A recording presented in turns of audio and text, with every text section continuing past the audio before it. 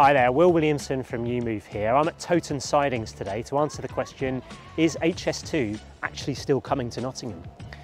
Now under the original plans for HS2, uh, there was going to be a new station here at Toton Sidings uh, with trains coming from London through Toton all the way on to Leeds in the north. This would have been a £10 billion investment in the East Midlands area, bringing with it jobs and new economic activity. But you may have seen some controversy in the news over the past few months about certain elements of the HS2 plans being scrapped in the Midlands and in the North. So is HS2 still coming to Nottingham?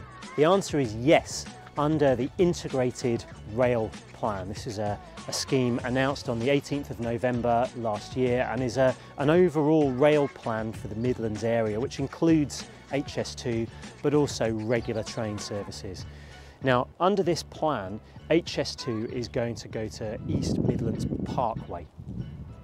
From there, trains are going to be routed to Derby and Chesterfield and also to Nottingham Station. But these will be done via the existing Midland Rail line and the line from Nottingham to St Pancras. These lines are going to be upgraded and electrified. Now electrification makes high-speed train uh, travel possible. This would mean journey times from Nottingham to Birmingham being reduced to just 26 minutes and journey times from Nottingham to London being reduced to 57 minutes. They're currently over 90. There will be more frequent trains with four trains an hour to London rather than two as there are at the moment and with each train having more capacity. So this is very good news, but what does it mean for this site here in Toton Sidings? Will there be further compulsory purchase orders for properties in Long Eaton and Toton? There are homes in places like Bonsall Street in Long Eaton that have been had that threat hanging over them for some time now.